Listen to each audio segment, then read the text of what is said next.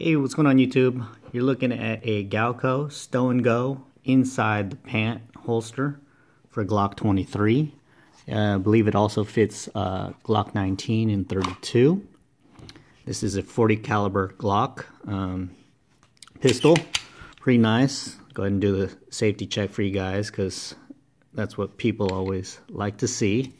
You know, I've got some unloaded magazines while I'm playing with my gun, but basically I just wanted to show you guys my my Galco uh, holster. It's made by Galco Gun Leather. And it comes in natural color and um, it comes in right or left hand versions. So this is obviously a right hand version for an inside the pant um, waistband there. Fits good uh, as far as uh, on the right side you can do an appendix carry in the front you could do a three o'clock position for your strong side or um, four o'clock position to kind of um, slim your profile down if you don't want it to to widen uh, the look of your um, your profile. So uh, what I've been reading and what I've been told is uh, what you want to do is wrap your pistol with a little bit of saran wrap and then stick it in the freezer so it's nice and cold um, for a few minutes. And then once it's nice and cold, you will actually fit it into the holster and it'll just make just barely enough room so that your your weapon can slide in and out very smoothly.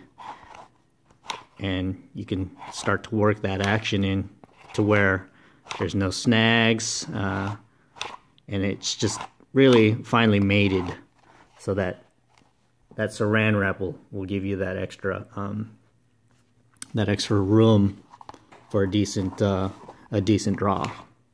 So uh, right now on Amazon, these things are going for under thirty dollars. Uh, list price right now is twenty eight eighty five. Uh, left hand, sorry guys, it's just a little bit more at thirty two dollars. Um, but I think uh, unfortunately a lot of lefties are used to uh, the higher prices for um, left hand products. Um, I'll go ahead and do a, uh, a demo to show uh, how it looks in the uh, in the waistband. Okay guys, so you're looking at the uh, appendix carry inside the front of the waistband and, and, right now I'm wearing sweatpants so this is not going to be the the best um, choice in, in pants for demo.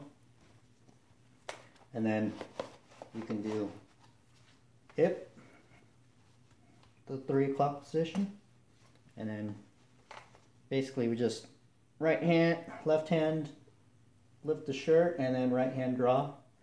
And then finally a little four o'clock action when you want to reduce the profile. So kind of same deal.